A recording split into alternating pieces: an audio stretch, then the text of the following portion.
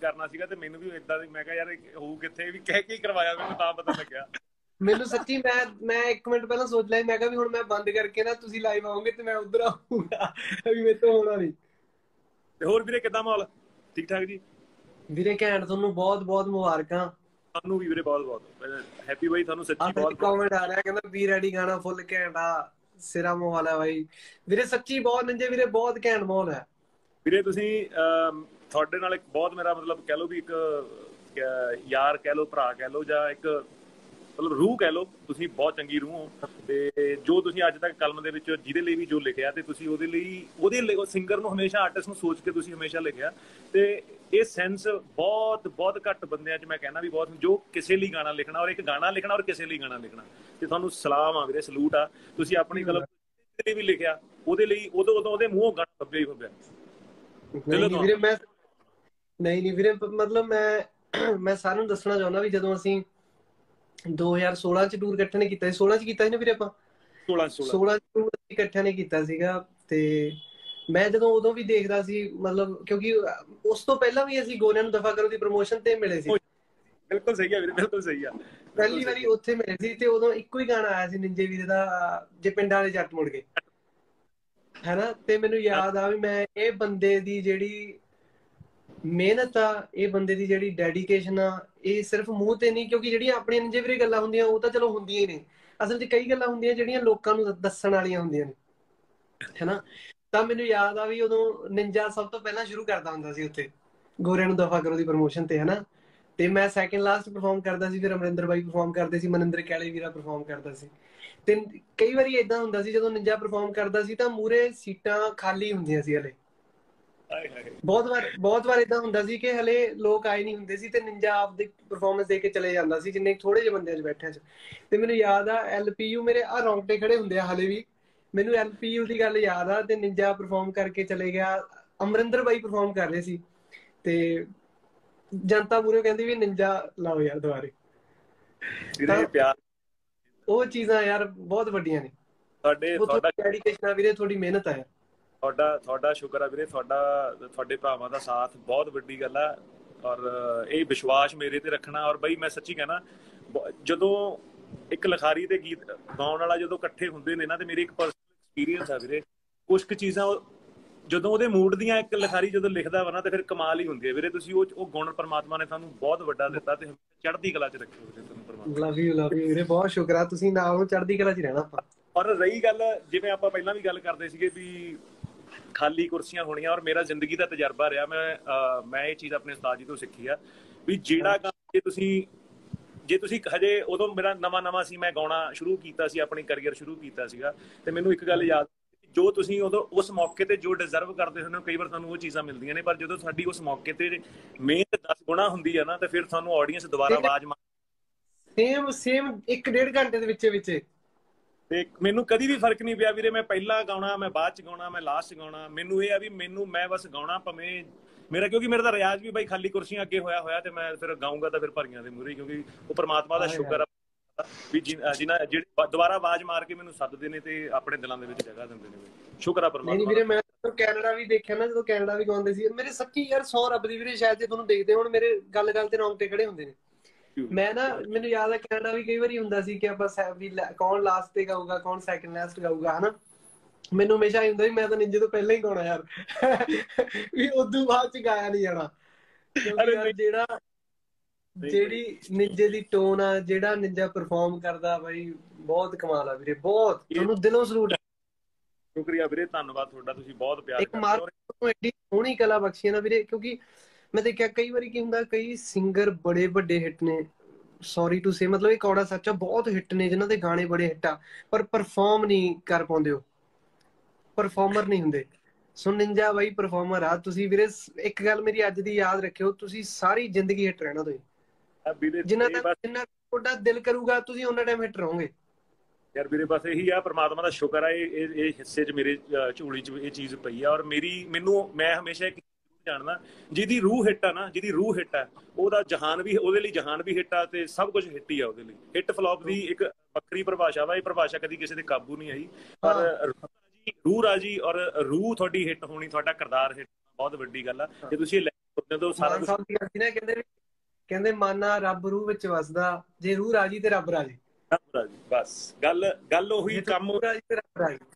ਬਿਲਕੁਲ ਬਿਲਕੁਲ ਵੀਰੇ ਬਿਲਕੁਲ ਵੀਰੇ ਬਿਲਕੁਲ। ਤੇ ਹੈਪੀ ਵੀਰੇ ਸੱਚੀ ਬਹੁਤ ਮਤਲਬ ਦਿਲ ਨੂੰ ਖੁਸ਼ੀ ਹੁੰਦੀ ਹੈ ਵੀ ਮੈਂ ਮੇਰਾ ਦੂਜਾ ਗਾਣਾ ਤੁਹਾਡੇ ਨਾਲ ਪਹਿਲਾ ਸੀ ਜਿੰਨੇ ਸਾਹ ਤੁਸੀਂ ਉਹ ਵੀ ਐਂਥਮ ਬਣਾਤਾ। ਤੇ ਜਿਹਦੇ ਔਰ ਇਹ ਤੁਸੀਂ ਇਹ ਦੇਖੋ ਵੀ ਆਪਾਂ ਦੋਵੇਂ ਭਰਾ ਉਸ ਹਰ ਖੁਸ਼ੀ ਦੇ ਵਿੱਚ ਸ਼ਰੀਕ ਹੈ ਜਿਹਦੀ ਇੱਕ ਨਵੀਂ ਜ਼ਿੰਦਗੀ ਸ਼ੁਰੂ ਹੋਣੀ ਹੁੰਦੀ ਹੈ। ਪ੍ਰੀ ਵੈਡਿੰਗ ਹਾਂ। ਤੇ ਇਹ ਪ੍ਰੀ ਸਾਡੀ- ਵੈਡਿੰਗ ਤੇ ਪੱਕਾ ਹੈ। ਇਹ ਸਾਡੇ ਹਿੱਸੇ ਗੱਲਾਂ ਤੇ ਇਹ ਅਸੀਂ ਸ਼ੁਕਰ ਕਰਦੇ ਹਾਂ ਪਰਮਾਤਮਾ ਦਾ। ਔਰ ਤੁਹਾਡਾ ਤਾਂ ਮੈਂ ਸੱਚੀ। ਦਿਲੋਂ ਜੈਦੇਵ ਜੀ ਨੇ ਇੰਨਾ ਸੋਹਣਾ 뮤직 ਬਣਾਇਆ ਸੀ ਉਹ ਵਾਹ। ਚੰਨਾ ਮੇਰੇ ਸਾਰੀ ਮਤਲਬ ਅੱਖੀਆਂ ਵਿੱਚ ਵਸਦੇ ਆ ਸੱਜਣਾ ਤੇਰੇ ਮੈਂ ਦਿਲ ਵਿੱਚ ਰਹਿਣਾ। ਹੱਲੜ ਦੀ ਜਾਨ ਲਟਕਦੀ ਹੱਲ ਤਾਂ ਕੋਈ ਕਰਨਾ ਪੈਣਾ। ਤੇਰੇ ਥੋੜੇ ਹੋਰ ਇਰਾਦੇ ਟਾਲੀ ਨਾ ਗੱਲੀ ਵੇ। ਹਾਂ, ਤੇਰੇ ਨਾਲ ਜੀਣਾ, ਸੱਜਣਾ ਮਰ ਜਾਉ ਕੱਲੀ ਵੇ। ਤੇਰੇ ਨਾਲ ਜੀਣਾ, ਸੱਜਣਾ। ਔਰ ਤੁਸੀਂ ਸੱਚੀ ਵੀਰੇ ਬਹੁਤ ਬlesed ਹੋ। ਜਿਹੜੀ ਕੰਪੋਜੀਸ਼ਨ ਤੁਸੀਂ ਬਣਾ ਕੇ, ਜੋ ਸੂਤ ਕਰਕੇ, ਗੁਣੀਆਂ ਚ ਕਰਕੇ ਬਣਾ ਕੇ ਦਿੰਦੇ ਹੋ ਨਾ, ਤੇ ਉਹ ਚੀਜ਼ ਵਾਕਈ ਐਂਥਮ ਬਣਦੀ ਆ। ਔਰ ਸੀਰੀਅਸਲੀ ਹਿੱਟ ਕੀ ਹੈ ਫਲॉप ਕੀ ਹੈ, ਮੈਂ ਉਹਦੀ ਗੱਲ ਕਰਦਾ, ਪਰ ਰੂਹ ਬਣਦੀ ਆ ਉਹ ਚੀਜ਼, ਤੇ ਉਹ ਰਾਜ ਕਰਦੀ ਆ। ਤੇ ਸੱਚੀ ਤੁਹਾ- ਤੁਹਾਨੂੰ ਬਹੁਤ ਸਾਰੀਆਂ ਦੁਆਵਾਂ ਮੇਰੇ ਵੱਲੋਂ ਬਹੁਤ ਸਾਰਾ ਪਿਆਰ ਤੇ ਬਾਬਾ ਹਮੇਸ਼ਾ ਚੜ੍ਹਦੀ ਕਲਾ 'ਚ ਰੱਖੇ ਤੇ ਤੁਹਾਨੂੰ ਜਦ ਵੀ ਭਰਾ ਦਾ ਲੱਗੇ ਵੀ ਹੁਣ ਕਰਨਾ ਹੈ ਤੇ ਹਮੇਸ਼ਾ ਆਲਵੇਜ਼ ਬਾਹਾਂ ਖੁੱਲੀਆਂ ਨੇ ਵੀਰੇ ਵੀਰੇ ਤੁਸੀਂ ਤਾਂ ਪਹਿਲਾਂ ਵੀ ਤੁਸੀਂ ਮੈਂ ਤੁਸੀਂ ਹੁਣ ਵੀ ਮੈਂ ਤਾਂ ਬਸ ਮੈਨੂੰ ਯਾਦ ਆ ਇੱਕ ਫੋਨ ਹੀ ਕੀਤਾ ਸੀਗਾ ਕਿ ਵੀਰੇ ਇੱਕ ਗਾਣਾ ਤੁਹਾਡੇ ਲਈ ਬਣਿਆ ਤੇ ਤੁਸੀਂ ਸੁਣੋ ਤੁਹਾਨੂੰ ਫੋਨ ਤੇ ਸੁਣਾਇਆ ਤੁਸੀਂ ਫੋਨ ਤੇ ਡਨ ਕਰਤਾ ਦੂਜੇ ਦਿਨ ਆਪਾਂ ਡੱਬ ਕਰਤਾ ਤੇ ਮੈਨੂੰ ਲੱਗਦਾ ਹਫ਼ਤੇ 10 ਦਿਨ ਚ ਪਲਾਨ ਬਣ ਗਿਆ ਸਾਰਾ। ਬਿਲਕੁਲ ਵੀਰੇ। ਔਰ ਇਸ ਚੀਜ਼ ਦਾ ਬਈ ਮੈਂ ਇੱਕ ਚੀਜ਼ ਇਸ ਗਾਣੇ ਦੀ ਹੋਰ ਮੈਂ ਦੱਸਣਾ ਚਾਹਣਾ ਆਪਣੇ ਚਾਹਣ ਵਾਲਿਆਂ ਨੂੰ ਵੀ ਇਸ ਗਾਣੇ ਨੂੰ 뮤직 ਕੀਤਾ ਸੱਤੇ ਬਾਈ ਨੇ।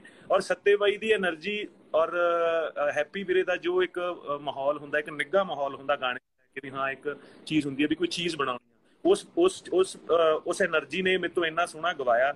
ਔਰ ਤੁਹਾਡੀ ਵੀਰੇ ਕੰਪੋਜੀਸ਼ਨ ਨੇ ਬਾ ਕਮਾਲ ਮਤਲਬ ਇੱਕ ਟਣਕਾ, ਜਿਹਨੂੰ ਕਹਿੰਦੇ ਨਾ ਟਣਕਾਉਣਾ ਉਹ ਟਣਕਾਣੀ ਤੁਸੀਂ ਮੇਰੀ ਉਹ ਚੀਜ਼ ਨੂੰ ਫਿਰ ਮੇਰੇ ਚਾਹਣ ਵਾਲਿਆਂ ਤੱਕ ਲੈ ਕੇ ਆਏ ਹੋ ਔਰ ਸੱਤੇ ਵੀਰੇ ਦਾ ਥੈਂਕ ਯੂ ਔਰ ਸਭ ਤੋਂ ਵੱਡਾ ਜਿਹਦਾ ਮੈਂ ਸ਼ੁਕਰੀਆ ਕਰਨਾ ਚਾਹੁੰਦਾ ਸਾਡਾ ਭਿੰਡਰ ਵੀਰਾ। ਤੇ ਇਸ ਵਾਰ ਸਾਡਾ ਯਾਰ ਬਹੁਤ ਹੀ ਜ਼ਿਆਦਾ ਤੇ ਬਾਈ ਬਹੁਤ ਸੋਹਣੀ ਵੀਡੀਓ ਬਣਾਈ ਹੈ ਯਾਦ ਬਾਈ ਉਹਨੇ ਇਹਨਾਂ ਨੇ ਬਹੁਤ ਸਪੋਰਟ ਕੀਤਾ ਮਹਾਵੀਰ ਭੁੱਲਰ ਸਾਰੀ ਪ੍ਰਦੀਪ ਮਲਕ ਬਾਈ ਸਾਡਾ।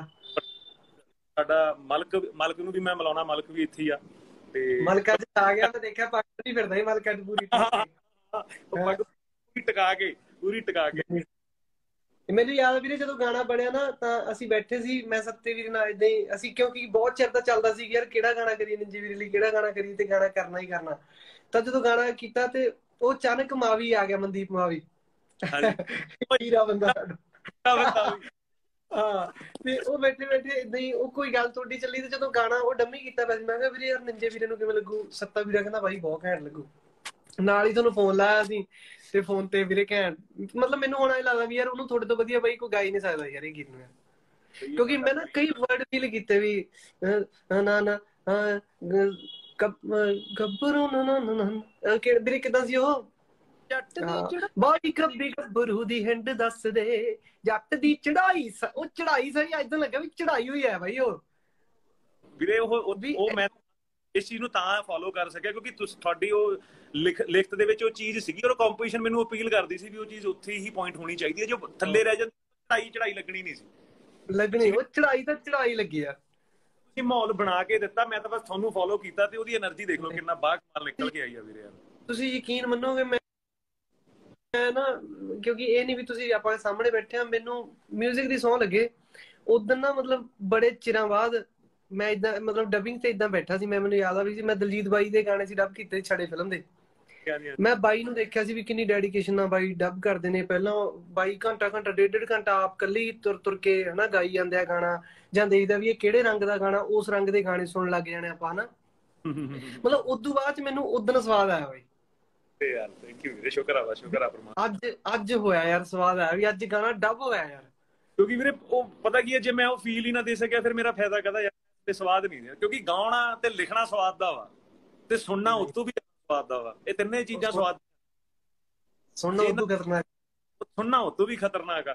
ਹਰ ਚੀਜ਼ ਆਪਣੇ ਆਪ ਤੋਂ ਵੱਡੀ ਆ ਹਰ ਔਰੇ ਦੇ ਵਿੱਚ ਉਹਨੂੰ ਬਣਾਉਣਾ ਉਹਨੂੰ ਲਿਖਣਾ ਉਹਨੂੰ ਗਾਉਣਾ ਉਹਨੂੰ ਸੁਣਨਾ। ਇਹ ਸਾਲਾ ਇੱਕ ਟਰੈਵਲ ਹੈ ਇੱਕ ਬਹੁਤ ਵੱਡੀ ਤੇ ਜਦੋਂ ਇਹ ਚਾਰੇ ਚੀਜ਼ਾਂ ਪੁਆਇੰਟ ਹੁੰਦੀਆਂ ਨੇ ਫਿਰ ਦੇਖੋ ਫਿਰ ਗਾਣਾ ਇੱਕ ਬਣਦਾ ਵਾ।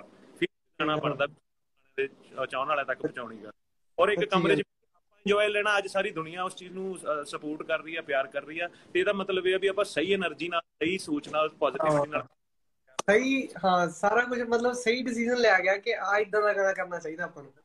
ਬਿਲਕੁਲ ਵੀਰੇ ਬਿਲਕੁਲ ਬਿਲਕੁਲ। ਔਰ ਜਦੋਂ ਚੀਜ਼ ਕਹੀ ਹਾਂਜੀ ਹਾਂਜੀ। ਹਾਂਜੀ ਹਾਂਜੀ ਆਨ ਟੂ ਮੈਂ ਮੈਂ ਇਸ ਚੀਜ਼ ਬਹੁਤ ਇੱਕ ਚੀਜ਼ ਐਦ ਕਿ ਮੈਂ ਬਹੁਤ ਵੱਡੀ ਇੱਕ ਚੀਜ਼ ਰਿਅਲਾਈਜ਼ ਕੀਤੀ। ਵੀਰੇ ਉਹੀ ਮੈਂ ਗੱਲ ਰਿਪੀਟ ਕਰੂੰਗਾ। ਜਦੋਂ ਤੁਸੀਂ ਇਹ ਗਾਣਾ ਲਿਖਿਆ ਸ਼ਾਇਦ ਮੈਂ ਤੁਹਾਡੇ ਜ਼ਿਹਨ 'ਚ ਆਇਆ ਤੁਸੀਂ ਤਰੀਕੇ ਨਾਲ ਕੰਪੋਜੀਸ਼ਨ ਬਣਾਈ। ਤੇ ਔਰ ਔਰ ਇਹ ਗੱਲ ਵਾਕਈ ਤੁਸੀਂ ਸਿੱਖ ਕਰਤੀ ਵੀ ਕੰਪੋਜੀਸ਼ਨ ਤੇ ਔਰ ਰਾਈਟਰ ਬੰਦੇ ਦੀ ਸੋਚ ਦੇ ਉੱਤੇ ਸਿੰਗਰ ਬਹੁਤ ਡਿਪੈਂਡ ਕਰਦਾ। ਇਹ ਚੀਜ਼ ਨੂੰ ਤੁਸੀਂ ਪ੍ਰੂਵ ਕੀਤਾ। ਕਰਦਾ।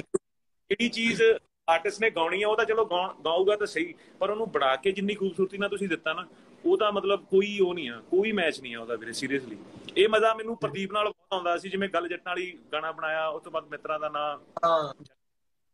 ਇਹ ਚੀਜ਼ਾਂ ਮੈਨੂੰ ਉਹਦੇ ਨਾਲ ਬਹੁਤ ਕਰਨ ਦਾ ਸਵਾਦ ਆਉਂਦਾ ਕਿਉਂਕਿ ਉਹਨੇ ਕੁਝ ਬਣਾਉਣਾ ਫਿਰ ਅਸੀਂ ਢਾਪਨ ਕਰਕੇ ਕਰਨੀ ਤੇ ਉਹੀ ਸੇਮ ਚੀਜ਼ ਤੁਸੀਂ ਮੈਨੂੰ ਆਪਣੀ ਸੋਚ ਨਾਲ ਹੀ ਉਦਾਂ ਦੀ ਡਿਲੀਵਰ ਕੀਤੀ ਵੀ ਹਾਂ ਯਾਰ ਜੇ ਕਿਤੇ ਕਮੀ ਵੀ ਲੱਗਦੀ ਆਪਾਂ ਉਹ ਚੀਜ਼ ਨੂੰ ਅੱਗੇ ਪਿੱਛੇ ਕਰ ਲੈਂਦੇ ਆ ਪਰ ਹਾਂ ਚੀਜ਼ ਮਾੜੀ ਨਹੀਂ ਲੱਗਣੀ ਚਾਹੀਦੀ। ਤੇ ਜਦੋਂ ਆਪਾਂ ਨੂੰ ਆਪਣੀ ਸੱਚਾਈ ਪਤਾ ਹੁੰਦਾ ਆਪਾਂ ਨੂੰ ਆਪਣੇ ਪੈਰ ਪਤਾ ਹੁੰਦਾ ਵੀ ਅਸੀਂ ਕਿੱਥੇ ਸਟੈਂਡ ਕਰਦੇ ਆ ਤੇ ਫਿਰ ਚੀਜ਼ ਵੀਰੇ 100% ਅਸਲੀਅਤ ਨੂੰ ਮੰਨਣਾ ਬਹੁਤ ਜ਼ਰੂਰੀ ਹੈ ਚਾਹੇ ਉਹ ਗਲਤ ਹੈ ਚਾਹੇ ਉਹ ਠੀਕ ਆ। ਦੋਨੇ ਚੀਜ਼ਾਂ ਮੰਨਣੀਆਂ ਔਰ ਇਹ ਪੋਜ਼ਿਟਿਵ ਤੁਸੀਂ ਪੋਜ਼ਿਟਿਵ ਦੇਖਦੇ ਹੋ ਤੁਹਾਡੀ એનર્ਜੀ 'ਚ ਬਹੁਤ ਪੋਜ਼ਿਟਿਵਿਟੀ ਆ। ਔਰ ਤੁਸੀਂ ਆਪਣੇ ਜਿੱਦੋਂ ਮਰਜ਼ੀ ਬਹਿ ਜਾਓ ਤੁਸੀਂ ਭਾਵੇਂ ਲੱਕੜ ਲੱਕੜ ਕੋਲੇ ਬਹਿ ਜਾਓ ਤੁਸੀਂ ਲੱਕੜ ਤੋਂ ਨਹੀਂ ਨਹੀਂ ਵੀਰੇ ਨਹੀਂ ਨਹੀਂ ਵੀਰੇ ਤੁਹਾਡੇ ਵਰਗੇ ਵੱਡੇ ਭਰਾ ਨੇ ਜੀ ਵੀਰੇ। ਤੇ ਉਸ ਤੇ ਜਾਣ ਹੋਵੇ ਤੇ ਹੈਪੀ ਰਾਈ ਗੁੱਟੀ ਤੇ ਲਿਖਤ ਹੋਵੇ ਤਾਂ ਪਾਸ ਹੀ ਹੈ ਟੈਨਸ਼ਨ ਨਹੀਂ ਹੈ। ਨਹੀਂ ਨਹੀਂ ਨਹੀਂ ਨਹੀਂ ਲਵ ਯੂ ਵੀਰੇ। ਵੀਰੇ ਗੀਤ ਸੁਣਾ ਦਿਓ ਪਲੀਜ਼ ਕਿਹੜਾ ਵੀਰੇ ਕਿਹੜਾ ਦੱਸੋ? ਆਹੀ ਸੁਣਾਓ ਆਹੀ ਆਉਣ ਦਾ? ਇਹ ਸੁਣਾਓ ਇਹੀ ਆਉਣ ਦੋ। ਯਾਰ ਇੱਕ ਮਿੰਟ ਦਾ ਇੱਕ ਮਿੰਟ ਵੀਰੇ ਇੱਕ ਮਿੰਟ ਦਿਓ ਬਸ ਮੈਂ ਇੱਕ ਮਿੰਟ ਸੁਣਾਉਣਾ। ਬੜਾ ਮੈਂ ਬੰਦ ਕਰਦਾ ਫਿਰ ਗੱਲ ਹੋ ਨਾ ਆਰਾਮ ਨਾਲ ਆਰਾਮ ਨਾਲ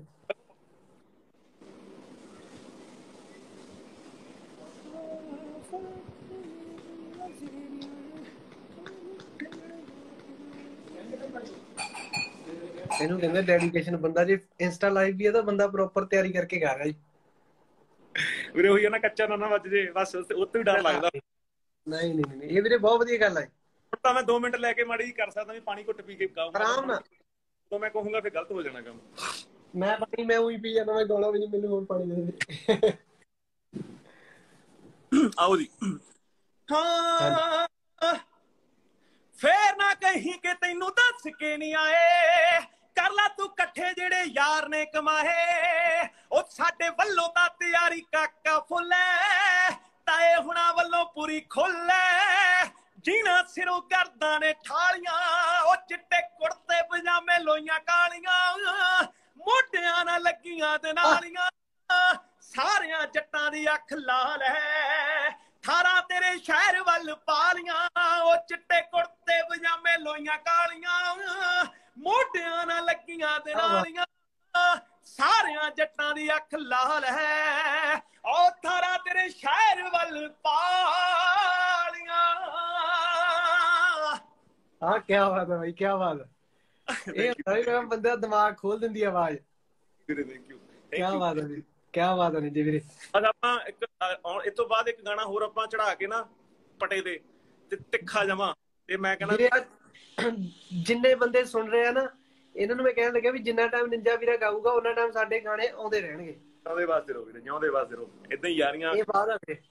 ਅਗਲਾ ਗਾਣਾ ਵੀ ਛੇਤੀ ਜਿਹੜਾ ਤੁਹਾਡੇ ਨਾਲ ਪਹਿਲਾਂ ਬਣਿਆ ਪਿਆ ਉਹ ਤਾਂ ਆਊਗਾ ਆਊਗਾ ਉਹ ਬਸ ਅਗਲਾ ਗਾਣਾ ਨਾਲ ਹੀ ਛੱਡ ਦੇਣਾ ਹੈ ਜੋ ਵੀ ਵਸਦੇ ਰੋਗੀ ਦੇ ਗਾਣੇ ਤੇ ਗਾਣੇ ਗਾਣੇ ਤੇ ਗਾਣੇ ਹੁਣ। ਔਰ ਸੱਚੀ ਵੀਰੇ ਬਹੁਤ ਪਾਲੀ ਵੀਰੇ ਥੋੜੇ ਅੱਜ ਆਜੋ ਮੈਨੂੰ ਨੇੜੇ ਕਰਨਾ ਪੈਣਾ ਨਿਗਾ ਘੱਟੀ ਹੋ ਮੇਰੀ। ਮੋਨੂ ਜੀ ਕਹਿੰਦੇ ਸਿਰਾ ਨਿੰਜਾ ਜੀ ਸਿਰਾ ਆਕਾਂਖਸ਼ਾ ਜੀ ਦਿਲ ਭੇਜ ਰਹੇ ਨੇ ਪਾਕਿਸਤਾਨ ਤੋਂ ਭੇਜ ਰਹੇ ਨੇ ਬਾਈ ਜੀ ਪਿਆਰ ਤੁਹਾਨੂੰ। ਥੈਂਕ ਯੂ ਵੀਰੇ thank you thank you everyone thank you so much thank you ninja. ਕਰੋ ਬਾਜੀ ਇਕੱਠੇ। ਭਾਜੀ ਇਕੱਠੀਆਂ ਹੁਣ ਇਕੱਠੇ ਰਹਿਣਾ ਅਸੀਂ ਦੇਖਿਓ ਤੁਸੀਂ। ਲਵ ਨਿੰਜਾ ਤੇ ਹੈਪੀ ਭਾਜੀ। ਵੀਰੇ ਨਿੰਜਾ ਹੈਪੀ ਜੀ ਮੈਂ ਸ਼ਿਵਰਾਮ ਹੂੰ ਅਸੀਂ ਇੱਕ ਤੁਹਾਡੇ ਗਾਣੇ ਦਾ ਮੈਂ ਹਮੇਸ਼ਾ ਤੁਹਾਡੇ ਤੋਂ ਗਾਣਾ ਸੁਣਦਾ ਮੈਨੂੰ ਗਾਣਾ ਯਾਦ ਆਇਆ ਯਾਰ ਇੱਕ ਗਾਣਾ ਸੁਣਾਓ ਯਾਰ। ਹਾਂਜੀ ਵੀਰੇ ਦੱਸੋ। ਉਹ ਵਾਲਾ ਬੇਬੇ ਵਾਲਾ? ਹਾਂ ਬੇਬੇ ਵਾਲਾ ਯਾਰ। ਮੈਨੂੰ ਗਾਣਾ ਸੁਣਾਓ ਯਾਰ ਬਾਈ। ਇੱਕ ਵਾਰੀ ਪਲੀਜ਼ ਸਭ ਤੋਂ ਸਭ ਤੋਂ ਮਤਲਬ ਮੈਨੂੰ ਐ ਲੱਗਦਾ ਵਾ ਵੀ ਇਹ ਗਾਣਾ ਵੀਰੇ ਤੁਹਾਡੇ ਤੋਂ ਵਧੀਆ ਕੋਈ ਨਹੀਂ ਸੀ ਗਾ ਸਕਦਾ। ਔਰ ਇੰਨਾ ਸੋਹਣਾ ਮੈਂ ਇਸ ਲਿਖਤ ਦਾ ਇੰਨਾ ਵੱਡਾ ਫੈਨ ਆ ਤੇ ਛੱਡ ਗੱਲ ਦਿਓ ਸੌ ਲੱਗੇ। ਇੱਕ ਵਾਰੀ ਉਹ ਗਾਣਾ ਜ਼ਰੂਰ ਗਾਇਓ ਯਾਰ ਵੀਰੇ। ਥੈਂਕ ਯੂ ਵੀਰੇ ਹੁਣੇ ਆ ਹੁਣੇ। ਮਾਵਾਂ ਲਈ ਨੇ ਉਹਨਾਂ ਦੀ ਆ ਜਿਹੜੇ ਸੱਚੀ ਸਪੋਰਟ ਕਰਦੇ ਨੇ ਔਰ ਉਹਨਾਂ ਉਹਨਾਂ ਬੱਚਿਆਂ ਲਈ ਆ ਉਹਨਾਂ ਦੇ ਪੁੱਤਾਂ ਲਈ ਆ ਜਿਹੜੇ ਆਪਣੇ ਮਾਪਿਓ ਨੂੰ ਹਮੇਸ਼ਾ ਖੁਸ਼ ਦੇਖਣਾ ਚਾਹੁੰਦੇ ਨੇ ਔਰ ਕਿਸੇ ਮੁਕਾਮ ਤੇ ਆਪ ਵੀ ਉਹਨਾਂ ਨੂੰ ਸੁੱਖ ਦੇਣਾ ਚਾਹੁੰਦੇ ਨੇ। ਮੈਂ ਉਹਨਾਂ ਲਈ ਇਹ ਗਾਣਾ ਮੈਂ ਉਹਨਾਂ ਨੂੰ ਡੈਡੀਕੇਟ ਕਰਨਾ ਚਾਹੁੰਦਾ ਤੁਹਾਡੇ ਥਰੂ ਪਲੀਜ਼ ਰੱਬ ਸਭ ਦੀਆਂ ਮਾਵਾਂ ਨੂੰ ਸਲਾਮਤ ਰੱਖੇ ਸਭ ਦੇ ਮਾਪਿਆਂ ਨੂੰ ਸਲਾਮਤ ਰੱਖੇ ਹਮੇਸ਼ਾ ਹੀ। ਉਹ ਸੀਗੇ। ਅਸਲ 'ਚ ਨਾ ਮੈਂ ਇਹ ਗਾਣਾ ਵੀ ਨਾ ਇੱਕ ਕਹਾਣੀ ਹੈ ਤੁਸੀਂ ਦੇਖੋ। ਮੈਂ ਨਾ ਜਿਹੜਾ ਰਾਈਟਰ ਹੁੰਦਾ ਮੈਨੂੰ ਲੱਗਦਾ ਉਹ ਅੰਦਰੋਂ ਬੜਾ ਟੇਢਾ ਹੁੰਦਾ ਮੈਨੂੰ ਲੱਗਦਾ ਥੋੜਾ ਜਿਹਾ ਨਾ। ਤੁਸੀਂ ਦੇਖੋ ਗੱਲ ਕਹਿ ਰਿਹਾ ਕਿ ਨਿੱਕੇ ਨਿੱਕੇ ਖਾਬ ਨੇ ਮੇਰੀ ਬੇਬੇ ਜੀ ਦੇ ਬਾਬਾ ਜੀ ਪੂਰੇ ਕਰ ਦਿਓ। ਗੱਲ ਇਹ ਹੈ ਪਰ ਖਾਬ ਸਾਰੇ ਉਹਦੇ ਆਪਦੇ ਹੀ ਨੇ। ਆਓ ਸਾਰੇ ਉਹਦੇ ਆਉਂਦੇ ਨੇ। ਖਾ ਇਨਡਾਇਰੈਕਟਲੀ ਆਪਦੇ ਮਾਂ ਥਰੂ ਆਪਦੇ ਖਾਬ ਪੂਰੇ ਕਰਾ ਰਿਹਾ ਉਹ। ਕਿਉਂਕਿ ਉਹ ਸੁਣਦਾ ਪਹਿਲਾਂ ਨਾ ਮਾਂ ਦੀ ਸੁਣੀ ਪਹਿਲਾਂ ਜਾਂਦੀ ਹੈ। ਸਮਾਨ ਹੁੰਦਾ ਨਾ ਹਾਂ। ਉਹ ਸੀ ਕਿ ਹਾਂ ਬੜੇ ਚੱਲ ਲਏ ਗਰੀਬੀਆਂ ਦੇ ਉਸਨੇ ਤਸੀਹੇ। ਜੀ ਹੁਣ ਛੇਤੀ ਛੇਤੀ ਖੁਸ਼ੀਆਂ ਦੇ ਮਿਲ ਦਿਓ ਮਸੀਹੇ। ਮੈਂ ਖਾਬਾਂ ਵਿੱਚ ਬੀਜ ਦੇਵਾਂ ਰੌਣਕਾਂ ਦੇ ਬੂਟੇ, ਕੋਈ ਐਸਾ ਵਰ ਦਿਓ।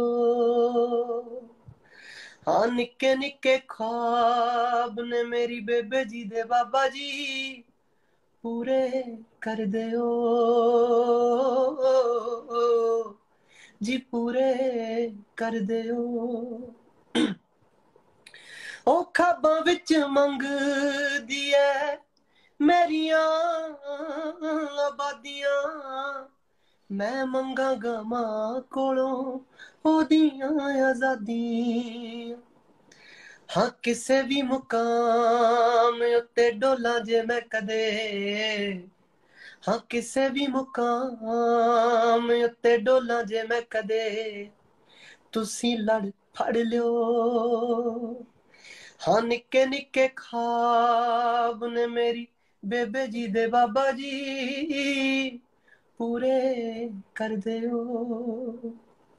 ਇੱਕ ਤੁਹਾਡਾ ਫੇਵਰਟ ਅੰਤਰਾ ਕਹਿੰਦਾ, ਹਾਂ ਦੇ ਦਿਓ ਜੀ ਥੋੜੀ ਨੈਣਾ ਵਾਲੀ ਜੋਤੀ ਨੂੰ ਤੁਹਾਡੇ ਤੋਂ ਹੀ ਆਸਾਂ ਤੁਹਾਡੇ ਹੈਪੀ ਰਾਏ ਕੋਈ ਨੂੰ।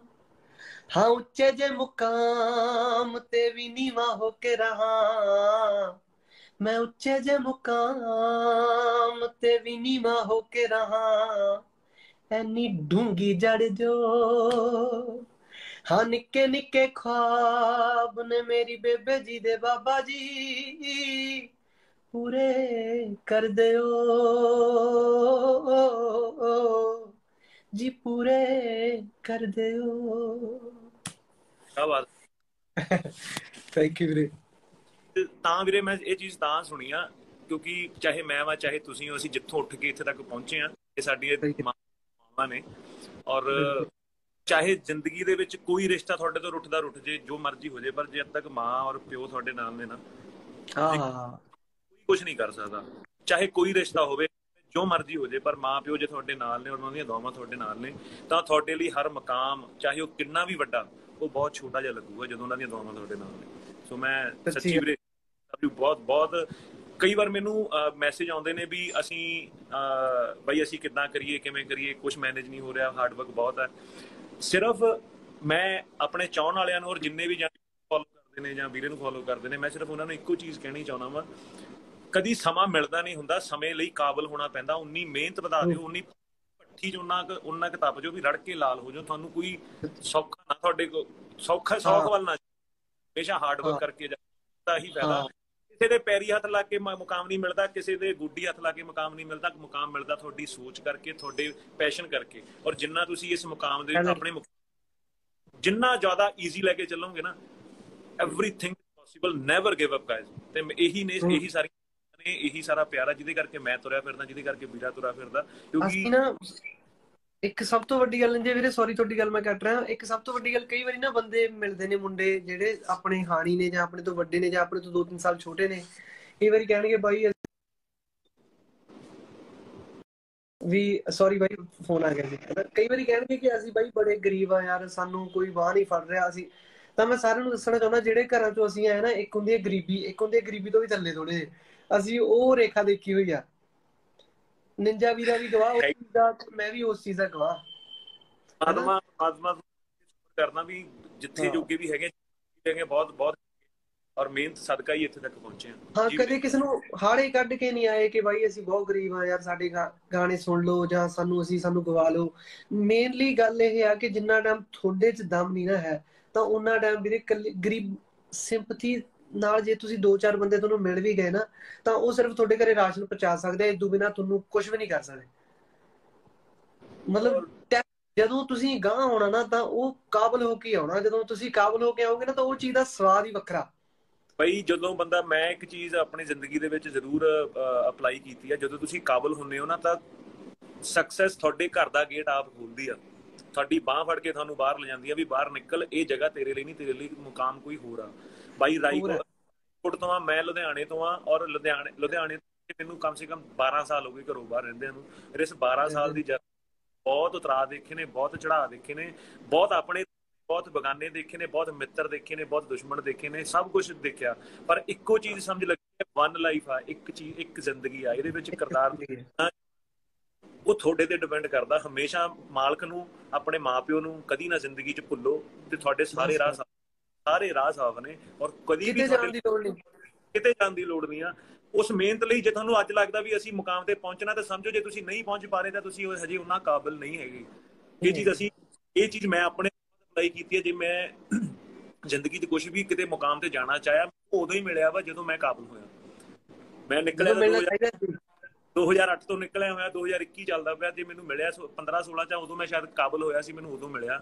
ਤਾਂ ਮੇਰੀ ਸੋਚ ਨੂੰ ਭਾਗ ਲੱਗੇ ਨੇ ਤਾਂ ਮੇਰੀ ਮੇਰੇ ਕੰਮ ਨੂੰ ਭਾਗ ਲੱਗੇ ਨੇ। ਸੋ ਤੁਸੀਂ ਨੈਵਰ ਗਿਵ ਅਪ ਗਾਇਜ਼ ਇਹ ਜ਼ਿੰਦਗੀ ਇੱਕ ਇੱਕ ਜ਼ਿੰਦਗੀ ਇੱਕ ਜ਼ਿੰਦਗੀ ਆ ਔਰ ਗੱਲ ਯਾਦ ਰੱਖਿਓ ਦੋ ਚੀਜ਼ਾਂ ਨੇ ਜਾਂ ਤਾਂ ਇਤਿਹਾਸ ਬਣਾਉਂਦਾ ਹੈ ਬੰਦਾ ਤੇ ਇਤਿਹਾਸ ਬਣਦਾ ਹੁਣ ਇਹ ਤੁਹਾਡੇ 'ਚ ਚਾਹੀਦਾ ਵਾ ਇਤਿਹਾਸ ਬਣ ਕੇ ਇਤਿਹਾਸ ਬਣਾਉਣਾ ਦੋ ਹੀ ਗੱਲਾਂ ਨੇ ਤੇ ਜ਼ਿੰਦਗੀ ਬਹੁਤ ਟਰੂ ਟਰੂ ਕੀ ਬਾਤ ਹੈ ਭਾਈ ਬਹੁਤ ਸਿਰਾ ਬਹੁਤ ਵਧੀਆ ਭਾਈ ਇਹੀ ਗੱਲ ਹੈ ਨਾ ਵੀਰੇ ਮੈਨੂੰ ਐਂ ਲੱਗਦਾ ਕਿ ਜਿੰਨਾ ਟਾਈਮ ਨਾਲੇ ਕਈ ਚੀਜ਼ਾਂ ਹੁੰਦੀਆਂ ਨੇ ਜੇ ਵੀਰੇ ਕਈ ਵਾਰ ਨਾ ਕੋਈ ਚੀਜ਼ ਤੁਹਾਡੇ ਤੋਂ ਖੁੱਸ ਜਾਂਦੀ ਆ ਤਾਂ ਮਤਲਬ ਤੁਸੀਂ ਯਕੀਨ ਮੰਨਿਓ ਮੈਨੂੰ ਕਦੇ ਵੀ ਆਏ ਨਹੀਂ ਲੱਗਿਆ ਵੀ ਯਾਰ ਆਹ ਚੀਜ਼ ਕਿਉਂ ਨਹੀਂ ਹੋਈ। ਉਦੋਂ ਵੱਡੀ ਹੋ ਕੇ ਮਿਲੀ ਉਹ। ਉਹਦਾ ਜਿਹੜਾ ਚਲਾ ਗਿਆ ਜਿਹੜਾ ਹੋ ਗਿਆ ਉਹਦਾ ਪਿੱਛਾ ਕਰਨਾ ਛੱਡ ਦਿਓ ਵੀਰੇ। ਹਾਂ। ਉਹ ਅੱਗੇ ਆ ਉਹਨੂੰ ਫੜੋ। ਕਿਉਂਕਿ ਹੁਣ ਜਿਹੜਾ ਲੰਘ ਗਿਆ ਉਹਦਾ ਕੀ ਕਰ ਸਕਦੇ? ਇਹ ਤਾਂ ਸਾਡੇ ਹੱਥ 'ਚ ਨਾ ਔਰ ਨਾਲੇ ਉਹ ਪੰਜਾਬੀ ਦੀ ਕਹਾਵਤ ਨਹੀਂ ਵੀ ਕਹਿੰਦਾ ਲੰਡੇ ਨੂੰ ਮੀਣਾ ਵਲ ਪਾ ਕੇ ਟੱਕਰਦਾ। ਉਹਦੇ ਮਿਲਣਾ ਹੀ ਮਿਲਣਾ ਤੁਹਾਨੂੰ ਨਾ। ਔਰ ਸਭ ਤੋਂ ਵੱਡੀ ਗੱਲ ਬਹੁਤ ਇੰਪੋਰਟੈਂਟ ਗੱਲ ਮੈਨੂੰ ਕਿਸੇ ਸਿਆਣੇ ਨੇ ਦੱਸੀ ਸੀ। ਕਹਿੰਦਾ ਮੈਂ ਲੋਡ ਕਾਰਡ ਹਾਂ ਮਾਂ ਮਾਂ ਮਾਂ। ਲੋਡ ਕਾਰਡ ਜੀ ਤੁਹਾਡੀ ਲੋੜ ਆ ਤੁਸੀਂ ਉਦਾਂ ਦੀ ਕਾਰਡ ਕੱਢੋ। ਮਤਲਬ ਜੇ ਆਪ ਤੁਸੀਂ ਚਾਹੁੰਦੇ ਹੋ ਵੀ ਤੁਸੀਂ ਕਿਤੇ ਪਹੁੰਚਣਾ ਜੇ ਤੁਹਾਡੀ ਲੋੜ ਉਹ ਨੇ ਨਾ ਤੇ ਕਾਰਡ ਤੁਹਾਨੂੰ ਆਪੇ ਕੱਢਣੀ ਹੋਣੀ ਚਾਹੀਦੀ ਤਾਂ ਕਾਮਯਾਬੀ ਹੈ ਤੇ ਮਾਲਕ ਸਭ ਨੂੰ ਚੜ੍ਹਦੀ ਕਲਾ 'ਚ ਰੱਖੇ ਬਹੁਤ ਸਾਰੀਆਂ ਦੁਆਵਾਂ ਬਹੁਤ ਸਾਰਾ ਪਿਆਰ ਸਭ ਚਾਹੁੰਦੇ ਵਾਸਤੇ ਰਹੋ ਬਸ ਇਹੀ ਮੈਂ ਇੱਕ ਦੁਆ ਕਰਦਾ ਰੱਬ ਨੂੰ ਨਹੀਂ ਲਵ ਯੂ ਵੀਰੇ ਬਹੁਤ ਬਹੁਤ ਚੰਗਾ ਲੱਗਿਆ ਨੇ ਜੀ ਵੀਰੇ ਬੜਾ ਸੋਹਣਾ ਮਾਹੌਲ ਬਣਿਆ। ਵੀਰੇ ਤੁਸੀਂ ਕਿਹਦੇ ਕਿਹਦੇ ਗਾਣੇ ਸੁਣਦੇ ਹੋ ਜਦੋਂ ਵਿਹਲੇ ਬੈਠੇ ਹੁੰਦੇ ਹੋ ਤੁਸੀਂ? ਵੀਰੇ ਮੈਂ ਕੋਸ਼ਿਸ਼ ਕਰਦਾ ਕਿ ਮੈਂ ਕੰਪੋਜੀਸ਼ਨਸ ਜਿਵੇਂ ਖਾਨ ਸਾਹਿਬ ਦੀਆਂ ਹੋ ਗਈਆਂ ਗਜ਼ਲਾਂ ਹੋ ਗਈਆਂ ਜਾਂ ਕੋਈ ਜਿਹੜੀ ਚੀਜ਼ ਮਤਲਬ ਇੱਕ ਪੱਕੇ ਰਾਗਾਂ ਵਾਲੀ ਹੁੰਦੀ ਹੈ ਜਾਂ ਸਵਾਦ ਵਾਲੀ ਹੁੰਦੀ ਹੈ ਨਾ ਕਈ ਵਾਰ ਉਹ ਚ ਕੰਪੋਜੀਸ਼ਨਾਂ ਬਹੁਤ ਚੰਗੀਆਂ ਲੱਭਦੀਆਂ ਨੇ। ਤੇ 뮤직 ਮਤਲਬ ਜਿੰਨਾ ਜਿੰਨਾ ਆਰਗੈਨਿਕ ਸੁਣੀਏ ਥੋੜੀ ਜੀ ਸੋਚ ਵੱਧਦੀ ਆ। ਤੇ ਮੈਂ ਕੋਸ਼ਿਸ਼ ਕਰਦਾ ਹੁੰਦਾ ਵੀ ਜਿੰਨਾ ਮਾਹੌਲ ਜਿੰਨਾ ਮਤਲਬ ਰਾਗਦਾਰੀ ਜੋ ਸੁਣ ਕੇ ਅਸੀਂ ਕੀ ਅੱਗੇ ਬੇਸਿਕਲੀ ਰਿਆਜ਼ ਵਾਲਾ ਹੁੰਦਾ ਤੁਹਾਨੂੰ ਪਤਾ ਹੀ ਆ ਵੀ ਰਿਆਜ਼ ਭਾਵਨਾ ਹੈ ਜੇ ਟਾਈਮ ਪਰ ਸੁਣਨਾ ਹੀ ਇੱਕ ਸਭ ਤੋਂ ਵੱਡਾ ਰਿਆਜ਼ ਹੈ। ਮੈਂ ਕੋਸ਼ਿਸ਼ ਕਰਦਾ ਹੁੰਦਾ ਵੀ ਮੇਰੀ ਖੁਦ ਦੀ ਤਿਆਰੀ ਹੈ ਔਰ ਮੇਰੇ ਗਾਉਣ ਦੀ ਵੀ ਤਿਆਰੀ ਹੈ ਔਰ ਮੇਰੇ ਚਾਹਣ ਵਾਲੇ ਵੀ ਤਿਆਰੀ ਹੈ। ਨਹੀਂ ਵੱਡੀ ਗੱਲ ਤੁਹਾਨੂੰ ਵੀਰੇ ਲਿਰਿਕਸ ਦੀ ਬਹੁਤ ਸਮਝ ਆ। ਤੁਸੀਂ ਉਹ ਚੀਜ਼ ਨੂੰ ਬਹੁਤ ਮਤਲਬ ਇਹ ਇਹ ਵੀ ਬਹੁਤ ਘੱਟ ਬੰਦੇ ਨੂੰ ਸੈਂਸ ਮਿਲਦੀ ਵੀਰੇ। ਵੀ ਲਿਖਣਾ ਵੀ ਹੈ ਨਾ ਗਾਣੇ ਦਾ ਵੀ। ਵੀਰੇ ਕੋਈ ਕੋਈ ਵੱਖਰੀ ਚੀਜ਼ ਸੁਣਾ ਦਿਓ ਪਲੀਜ਼ ਵੱਖਰੀ ਚੀਜ਼ ਦੀ ਤੁਹਾਡੀ ਰੂਹ ਦੀ ਮੈਨੂੰ ਫਿਰੋਜ਼ ਬਾਈ ਦਾ ਗਾਣਾ ਬਹੁਤ ਸੋਹਣਾ ਲੱਗਦਾ ਉਹ ਪਾਣੀ ਦੀਆਂ ਛੱਲਾਂ। ਮਤਲਬ ਮੈਂ ਕੋਸ਼ਿਸ਼ ਕਰ ਆਪਦਾ ਗਾ ਤਾਂ ਨਹੀਂ ਸਕਦਾ ਪਰ ਮੈਂ ਕੋਸ਼ਿਸ਼ ਕਰੂੰਗਾ ਉਹ ਜੇ ਕੰਪੋਜ਼ਿਸ਼ਨ ਮਤਲਬ ਜੋ ਰੂਹ ਨੂੰ ਸਕੂਨ ਦਿੰਦੀਆਂ ਨੇ ਕਿ ਚੰਗੀ ਚੰਗਾ ਗਾਣਾ ਬੜੀ ਕਮਾਲ ਹੈ। ਬਹੁਤ ਕਮਾਲ ਕੀਤਾ। ਮੈਂ ਮਾਨ ਸਾਹਿਬ ਬਾਬੂ ਸੇ ਮਾਨ ਸਾਹਿਬ ਅੱਛਾ ਜੀ ਕੀ ਬਾਤ ਹੈ ਯਾਰ ਦੇਖੋ। ਮੈਂ ਰੂਹ ਮੈਂ ਮਾਨ ਸਾਹਿਬ ਨੂੰ ਕਹਿੰਦਾ ਸੀ ਮੈਂ ਕਿਹਾ ਬਾਬਾ ਜੀ ਜਿੱਥੇ ਜਿੱਥੇ ਵੀ ਪਾਣੀ ਕਿਨਾਰੇ ਕੋਈ ਬੰਦਾ ਜਾਊਗਾ ਉੱਥੇ ਇੱਕੋ ਹੀ ਗਾਣਾ ਦਿਮਾਗ ਚ ਆਉਂਦਾ ਪਾਣੀ ਦੀਆਂ ਛੱਲਾਂ ਹੁਣ ਤੂੰ ਹੋਵੇ ਤੇ ਮੈਂ ਹਾਂ ਸਹੀ ਗੱਲ ਹੈ ਜੀ। ਮੇਰਾ ਬਹੁਤ ਫੇਵਰਿਟ ਪੰਜਾਬੀ ਸਿਨੇਮਾ ਤੇ ਸੰਗੀਤ ਜਗਤ ਦੀ ਹੋਰ ਲੇਟੈਸਟ ਅਪਡੇਟਸ ਲਈ ਸਾਡਾ ਫੇਸਬੁੱਕ ਪੇਜ ਬਾਲੀਵੁੱਡ ਤੜਕਾ ਪੰਜਾਬੀ ਲਾਈਕ ਕਰੋ ਤੇ YouTube ਚੈਨਲ ਸਬਸਕ੍ਰਾਈਬ ਕਰੋ।